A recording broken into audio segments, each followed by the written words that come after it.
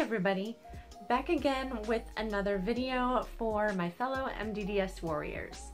So we all know that physical fatigue is one of the toughest symptoms to deal with when living with MDDS.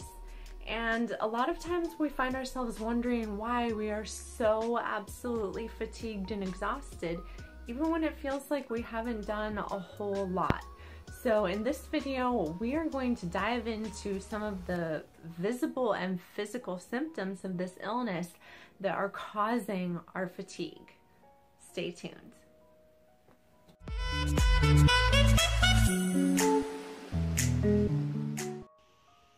Okay, so I know this is a really strange angle for a video, but this clip of my ankles is going to allow me to show you the physical reaction that our body is having to the phantom motion that our brain feels with MDDS. Pay close attention to what you see and the movement coming from the muscles in my ankles. You can see my muscles reacting to the motion sensation that I'm feeling. During this recording of my ankles, I was just standing still and reading from a piece of paper.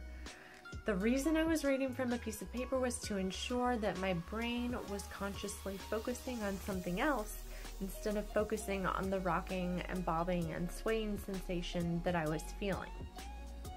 Since I was forcing myself not to think about the motion sensation while I focused on reading, I was less likely to consciously react to the sensations that I was feeling.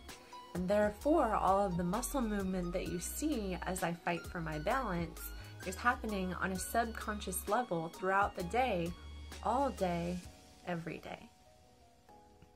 This subconscious reaction explains much of our fatigue, but wait until you see what happens when we change our surroundings just a little bit.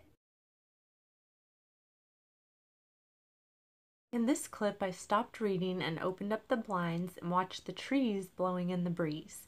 Seeing movement confused my vestibular system even more and as you can see, caused even more muscle movement in my ankles.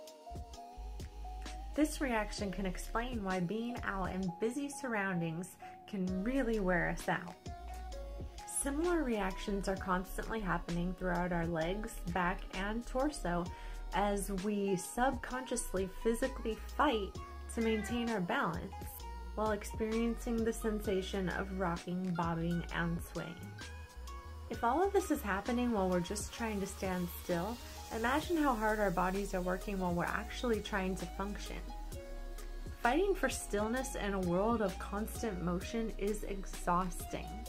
I hope this video helped shine a light on the reason many MDDS warriors suffer from extreme fatigue. And to find out more about the illness or to find out how you can help with research, be sure to visit the MDDSfoundation.org.